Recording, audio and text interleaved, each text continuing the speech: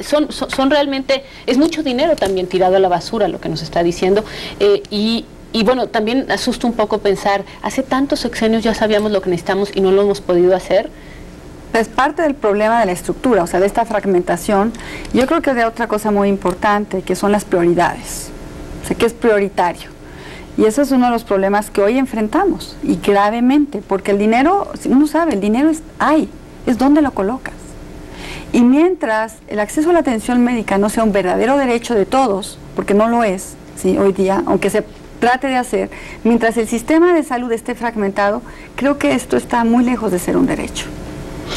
Bueno, pues yo les... El ejercicio, el ejercicio de un derecho. Bueno, es que un derecho se... El chiste es que se pueda ejercer. Claro, y que, no se puede, y que en este momento no se puede. Y por lo que veo aquí es fragmentación, es eh, recursos que lleguen a donde tengan que llegar y voluntad política, la verdad, porque creo que aunque ya existe esa idea en el sector salud desde hace mucho tiempo, doctor, como nos lo decía, tiene que haber alguien que tome aquí esto como una prioridad. Y prioridades. Como una prioridad nacional, porque aquí hay que saber que a donde se va el dinero se está decidiendo de vidas. Así, esto ocurre en el tema de la salud. Les agradezco mucho, les agradezco a ustedes dos, por supuesto, que me hayan acompañado dos martes seguidos. Muchísimas gracias, eh, doctor. Nosotros eh, vamos a una pausa, ya volvemos.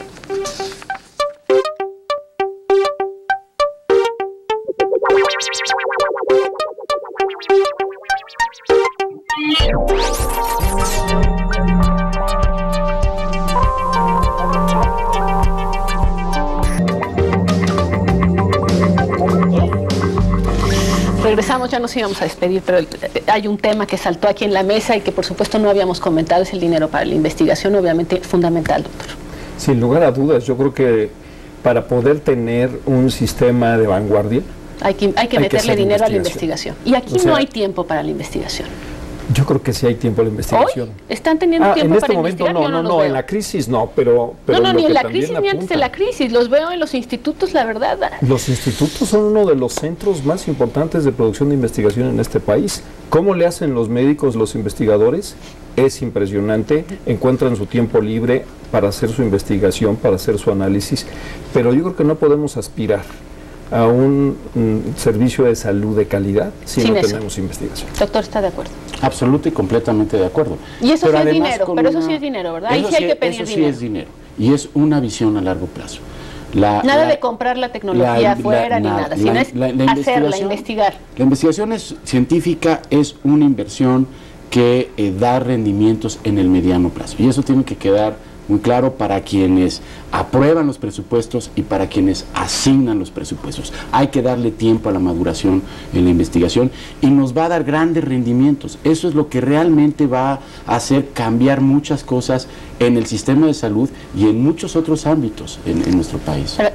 Totalmente de acuerdo.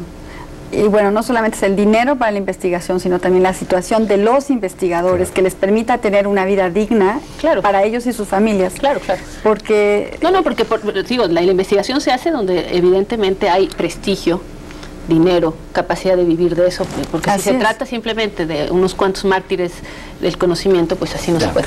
Muchísimas gracias, ahora sí nos despedimos, gracias por haber estado con nosotros, nosotros lo esperamos el próximo martes en otro punto de partida y también mañana en tercer grado. Muchísimas gracias y hasta entonces.